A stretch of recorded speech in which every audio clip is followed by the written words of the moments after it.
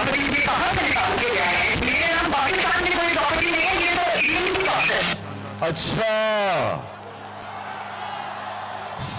जाऊँ एहसास प्रोग्राम में डाल देता हूँ, मरियम को। बेचारी के पास कोई प्रॉपर्टी नहीं है। बेचारी दो वक्त तक खाना नहीं खा सकती।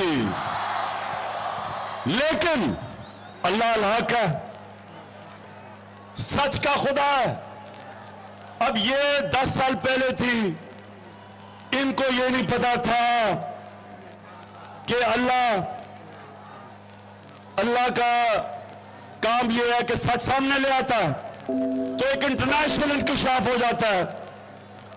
पैनमा पेपर्स के नाम पे दुनिया में बड़े बड़े सियासतदानों का इंकशाफ हो जाता है।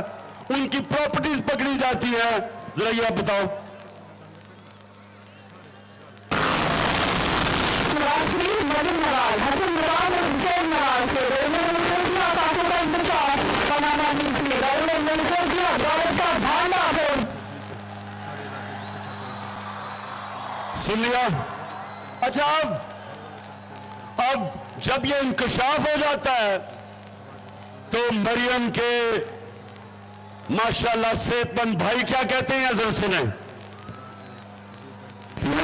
इस बात को तस्लीम करता हूँ कि अलहमदिल्ला आपने के ऊपर जो आदमी हैं वो अलहमदिल्ला हमारे।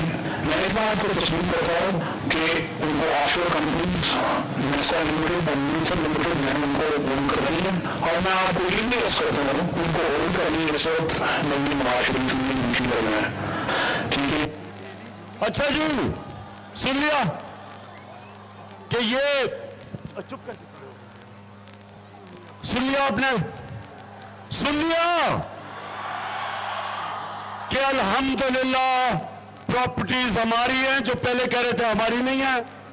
मरियम बेचारी तो कह रही, मैं तो पाकिस्तान छोड़े दुनिया में मेरे पास कुछ नहीं है। अब पता चला कि अरबों रुपए के, करोड़ों नहीं, अरबों रुपए के, लंदन के सबसे महँगे इलाके में चार बड़े बड़े महलात वो जनाब मरियम नवाज़ के थे। अब मरियम के पास तो पैसा नहीं है। मरियम के पास तो पैसा नहीं, उसकी तो कोई आमदनी नहीं। तो ये पैसा किधर से आया? बावलपुर ये पैसा आपका था।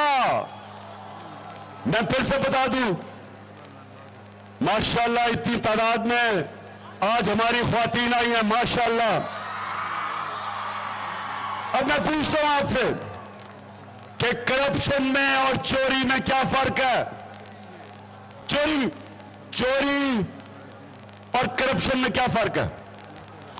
चोरी होती है जब कोई आपके घर में डाका मारे, आपकी चीज़ें चोरी कर ले, कोई आपकी जेब कुतरी से टेलीफोन निकाल ले, ये चोरी होती है। करप्शन करप्शन वो होती है जब कौम का पैसा चोरी किया जाता है। चोरी से मुल्क नहीं तबाह होते। जब हुक्मरान, वज़ीर वज़ीर आज़म सदर, जब वो पैसा चोरी करते हैं, मुल्क तबाह हो जाते हैं। आज जितने भी मुल्क गरीब है, जितने मुल्कों में गुर्बत है, वहाँ इसलिए गुर्बत नहीं।